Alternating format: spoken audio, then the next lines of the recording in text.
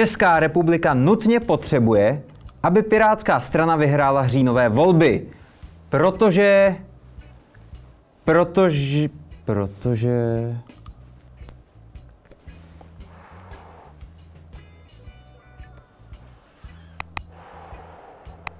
V květnu mi přišel tady graf, podle kterého jsme byli první. Jenomže když seš první, tak tě někdo může sesadit a pak seš druhý nebo třetí. Zatímco když seš třetí, tak můžeš jenom stoupat a být druhý nebo první.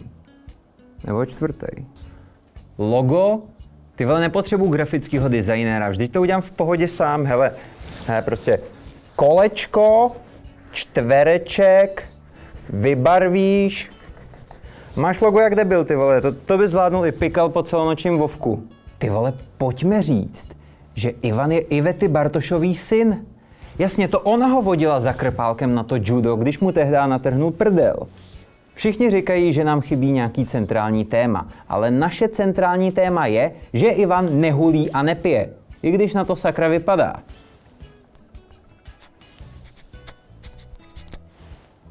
Důležitý je oslovit důchodce, proto jsme teď vyhradili 10 mega jenom na to, aby jsme jim vysvětlili Ivanův účes.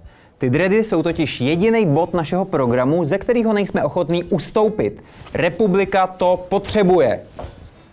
Jediná představitelná alternativa těch dreadů je jít ještě víc deep. Třeba Mohavk. Nebo bychom mohli na skalp sešívačkou přicvakat umírající krajtu. Hlavní je, aby když mají společnou tiskovku s Rakušanem, tak tam vypadal jako jeho nervní díler.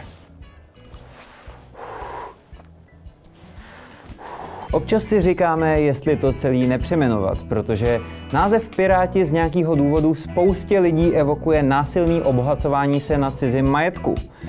Protinávrhy jsou zatím ale Vandalové, Antifa Light a Česká strana narkoticko-demokratická.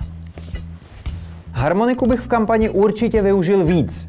Lidi milují hudební nástroje, co z něj jako by někdo týral klaunovský klakson. Ne moc ženských. Spát ženský do politiky je teď hrozný mainstream a my jsme co? Underground. Chci, aby to na té fotce vypadalo jako nástup na gangbang. Jediná holka je tam Olga a měla by vypadat spíš jako nebinární elf. Babiš furt všem hází peníze, tak my zdražíme socku.